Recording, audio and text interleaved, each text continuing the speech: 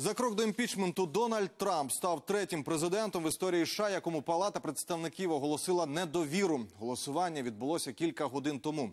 Як відреагував на це господар Білого Дому і що буде далі, розкаже Дмитро Анопченко.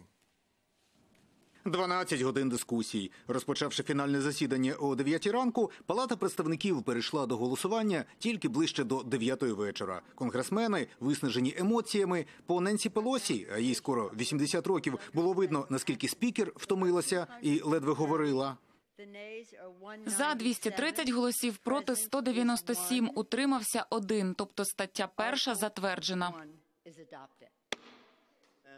Стаття перша це звинувачення президента у зловживанні владою. Навіть її ухвалення вже означає імпічмент. Але далі і теж переважною більшістю голосів затвердили і другу статтю обвинувачення протидія конгресу.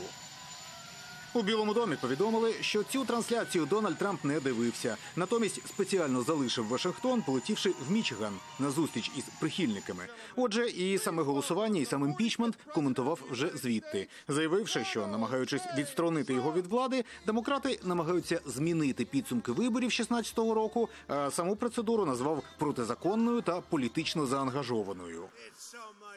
Вони прагнуть імпічменту, вони прагнуть ще гіршого, але між іншим ми тут зовсім не відчуваємо себе під імпічментом. В країні все краще ніж будь-коли, і ми не зробили нічого поганого. А підтримка республіканців просто шалена, така як ніколи. Коментуючи підсумки конгресового голосування, Білий Дім заявив, Трамп впевнений, що його тепер повністю виправдують в сенаті. Отже, команда президента готуватиметься тепер до другого етапу слухань. Дату їхнього старту мають оголосити вже до кінця тижня, але в будь-якому разі це все відбудеться у січні 2020-го.